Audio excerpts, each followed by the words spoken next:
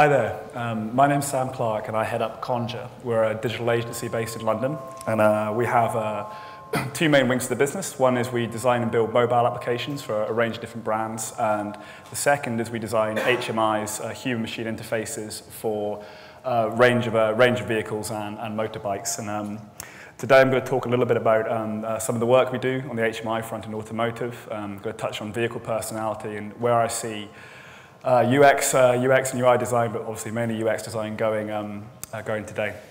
So I'm going to start with a very short show reel. Um, I'm not sure how loud this is going to be, uh, but I'll give you a quick flavour of some of the work we've produced to date. If I can get this to play. Yes.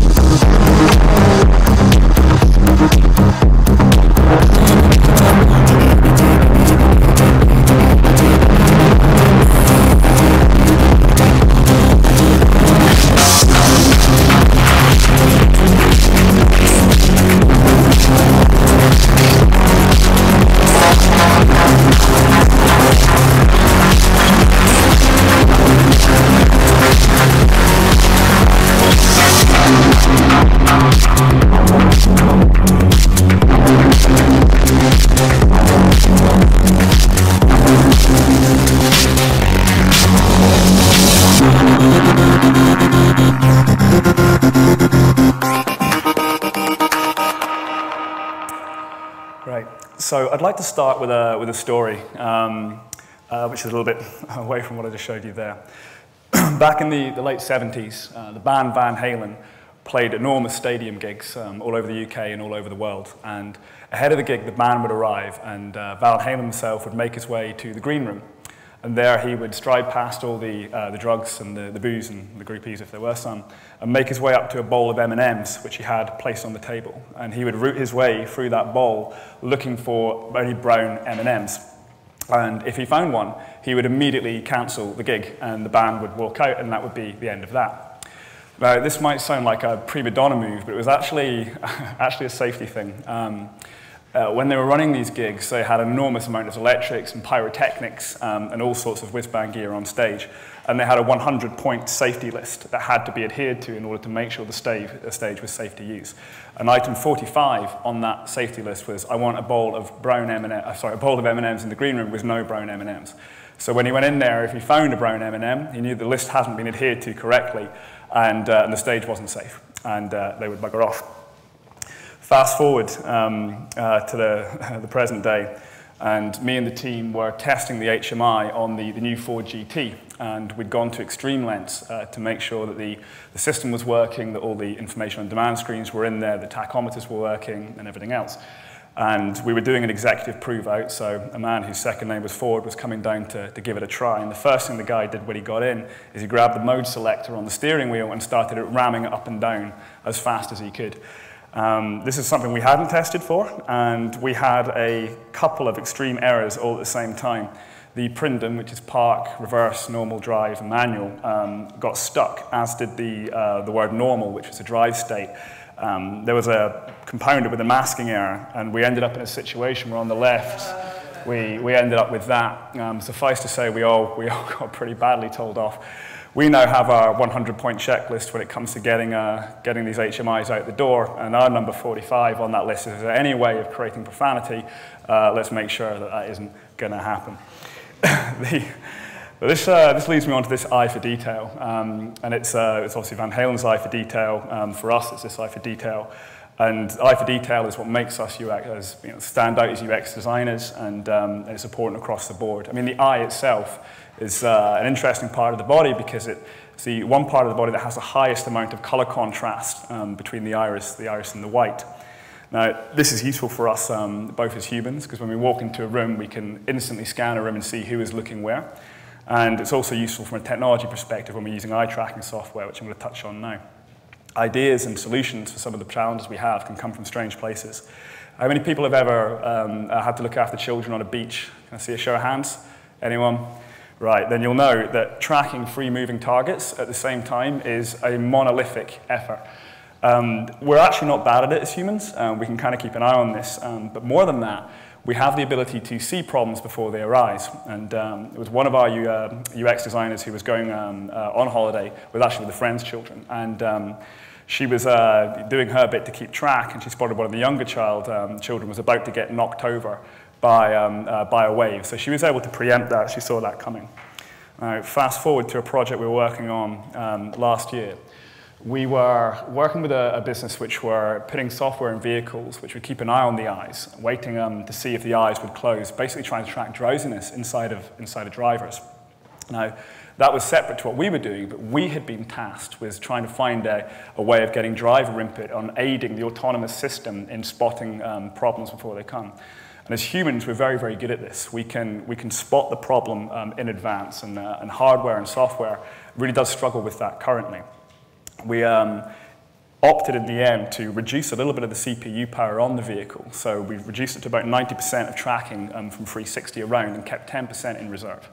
And then by using the camera and keeping an eye on the, um, on the eyes, if, the, if the, the passenger or the, or the rider spotted something in the distance, they generally tend to freeze and stay focused on that. Using the eye tracking, we were like, yeah, we, we know something's wrong. There's an irregular action here. They're focused on one thing. And then we can swing that last percentage of CPU power to extend the range of LiDAR and try and work out what that is. In the mobile world, facial recognition is coming in. Um, obviously, Apple have had that for years, and Android have just started catching up. But the, the way facial recognition will be used inside vehicles going forward, unlocking, recognizing passengers, recognizing um, uh, the different positions of people in the vehicle, this is all coming. Eye tracking is already there. So in terms of your vehicle recognizing you, this is, this is just around the corner. And um, and it's a, in terms of an interaction, where you're going to be interacting with a vehicle, this is going to be a big one, but I'll come back to that in a moment. The second is, is air gesture. Um, gesturing is absolutely innate for us, again, as humans. Um, we do it when we're on the phone and people can't even see us. We'll wave our hands around in the air. And we're seeing that coming into um, uh, various top-line vehicles, and that will filter down too. Curiously, we're seeing a little bit of a return to skeuomorphic design. Um, there's no set standard for, for gestures currently. Um, so if you're, in a, if you're in a Renault, you move your finger across like this um, to increase the volume, whereas in a Mercedes, you do this as if you're turning a, an invisible volume knob. So we've A, yet to see a standard there, and B, there's this kind of hint of, of skeuomorphic design coming back in that regard. So we have facial recognition, we have gesture control. And then obviously we have voice. And um, outside of the vehicle, the, we've seen the, the rise of, um, uh, of, of, obviously Siri and then um, Alexa in the, in, in the form of the Echo.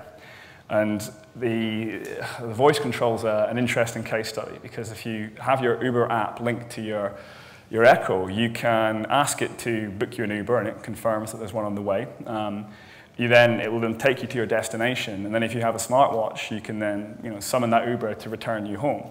And at no point have you actually looked at an interface or looked at your phone or gone through any of the, kind of the standard mobile application um, uh, actions that you would expect. And that's worth bearing in mind in an industry where a lot of, lot of weight is placed on, on the quality of wireframes and the actual physical screen. So the reason I've gone through these three um, kind of forms of interaction is that when we, when we gather them up, we start to get to a place where the interaction with the vehicle is becoming more and more um, uh, myriad, and it leaves us open to the ability to create a, a personality, um, create a, a, kind of feedback with that, with that vehicle or with that device. And that leads us me on to the next question, which is, what kind of personality we want? On the automotive side, um, there are different OEMs which are having different uh, kind of answers to this question. I mean, one of, the, one of the first is, do you talk directly to the vehicle? I mean, does it, does it talk to you? Um, alternatively, do you render a personality in the vehicle? And you know, in this case, Bentley's uh, idea of a, of a, of a musty old white, white man in the, in the center. Rolls-Royce believe it might be somewhere in between. Um, they've created this kind of abstract Clio character, which is all ethereal and is uh, joining you on your, on your rolling, rolling living room. How many people are familiar with the uncanny valley in here? Can I see a show of hands? about, about third, maybe? So the uncanny valley, um, I should have had a graph for this. I don't, I've just got the, the words. Um, but the, the uncanny valley is a phenomena um, in the 3D world where if you, as a 3D artist or animator, you try and reach a totally lifelike human character, which is completely indistinguishable from the real thing. And the closer, on a, on a graph, you have the realism versus um, kind of user-fooledness and you can get more and more and more lifelike, and the, and the, the user, the person viewing it, becomes more and more in tune with this character until you get very, very close to absolute human perfection. And when you do, um, you have this phenomena, which is the uncanny valley, which is where the, the human just rejects it outright. And so the uncanny valley is that dip on the graph where it comes down.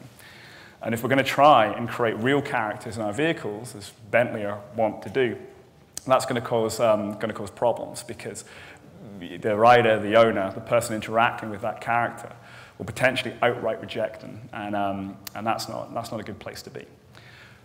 We, however, don't really believe that, um, uh, that you have to be that realistic with any kind of personality or any kind of um, uh, rendered character inside a vehicle. You can actually get away with, uh, with a lot less in order to create empathy. In fact, you don't even need a direct um, two-way interaction. You can simply have something which, which emotes in order to create empathy. Does anyone remember the first Tron, not the, not the remake, the kind of the 80s one? Remember the little cube that used to follow the protagonist around? It could say two things. It could say yes, and it could say no. And it would kind of go angry red when it wasn't happy, and it would kind of expand green when it was kind of happy. And yet, with those simple two words and that simple action, they were able to create a, a personality which you, as a viewer of the film, created uh, empathy for.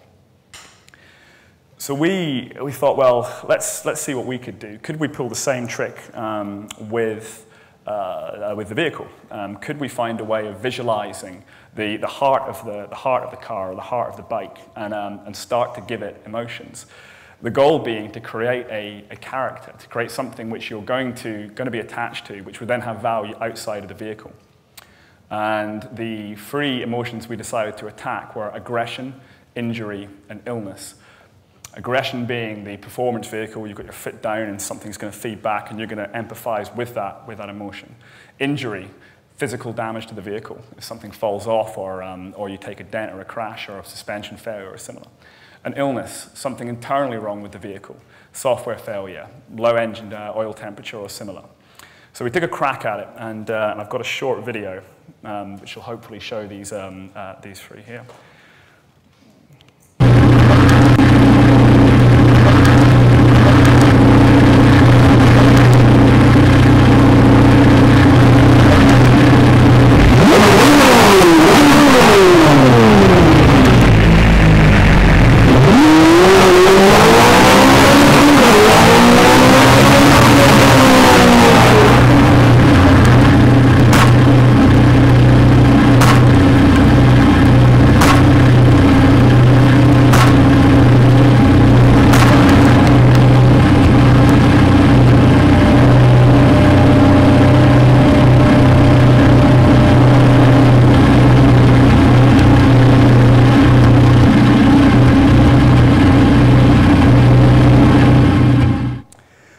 was the beginning of our experimentation with, uh, with a unit that can emote. Naturally, the, the places that we could take this character um, uh, are, are many.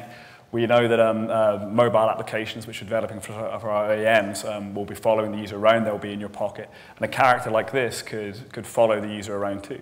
When you open the mobile app, this character there could give you instant feedback into the state of the vehicle if you had an Apple TV and you had your um, screensaver on, which had your, um, your GT in the garage, and you wanted to shot of the vehicle and something like that in the corner, then we can start to, to create real value there.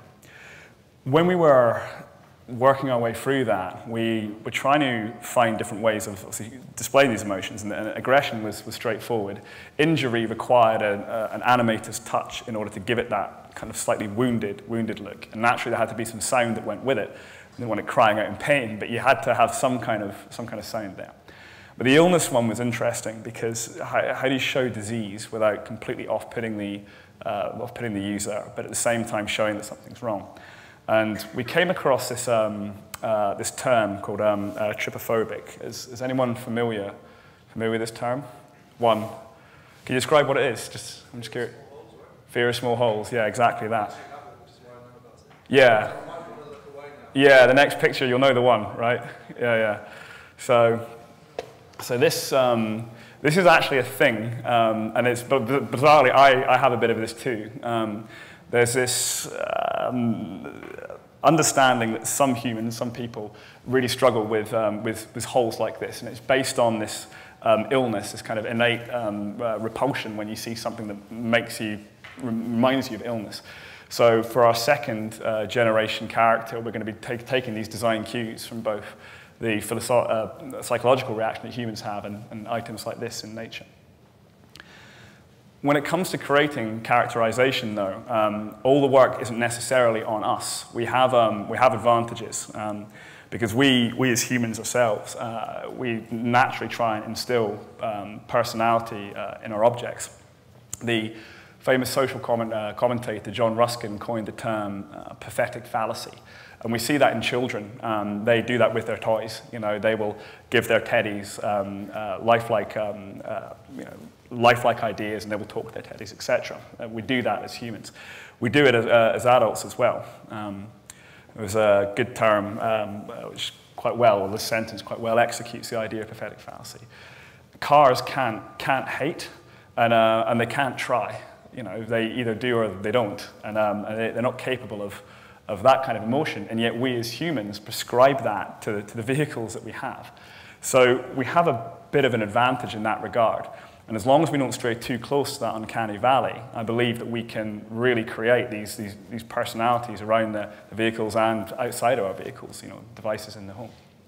But it does beg the question, why does, why does personality actually matter? You know, is it, why is this something that, that we need to be focusing on? And in the automotive uh, sector, it's, it's critically important because we have to begin building trust, especially with the advent of autonomous vehicles. Now, whether they come along in five years or 10 years or 15 years, uh, reading those runes is beyond the, uh, the scope of this talk, but trust is going to be important because there are some people who are just never really going to get on with it, and we're going to have a hard time convincing them, as this video neatly demonstrates. Oh, coming. Oh. Bill, just put me back it. Oh, dear Jesus. I could never. Ah! Ah! Oh, where's it going? God damn, Bill. Oh, my God. Oh, this is so scary.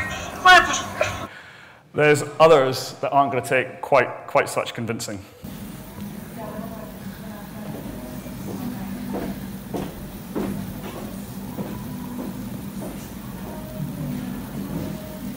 But the irony is it's not just the drivers that we, we need to be thinking about when it comes to, to, to building this trust and, and building these relationships. We have to think about the pedestrians as well. The ICT ran a study where they saw that 80% of pedestrians uh, crossing the road will attempt to make eye contact with the, with the driver. And in an autonomous vehicle, that most likely will not be possible. And the seats might be rotated, they might be talking to one another, windows might be screened down. So to counteract this, some of the brands are going to great lengths to try and convince pedestrians and drivers uh, alike that these, these are safe. Google have fundamentally turned their prototype into a toy. And they also did this to stop other vehicles bullying um, the cars on the road. If somebody spotted an autonomous car, they might start taking advantage of it. Semcon took it even further. They created a car which, um, which actually smiles at you um, the sensors around it and the cameras will, will look for the pedestrians, and if the pedestrian looks at the vehicle and smiles, then the vehicle will look at them and it will actually smile back. Audi um, have been developing uh, smart headlights, um, which will pick out uh, pedestrians in the road. And seeing as the, the styling of the Audi is so, so aggressive, it, it actually comes across as pretty sinister. And this is, this is quite well demonstrated by the ad campaign they ran to promote this, where they made all the pedestrians look like escape convicts.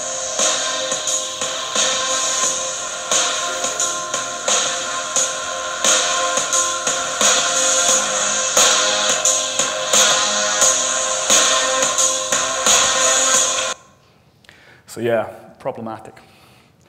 So with all of the gestures, um, gesture control, with facial recognition, with um, cars that can look to you, cars that can smile at you, with cars that can recognize you, what is the, uh, what is the UX designer, what is the UX um, uh, person do in the future? What, what, where are they going to look for for inspiration? Do the, do the old tricks, the old things we went back to still apply? Um, and I don't believe they do.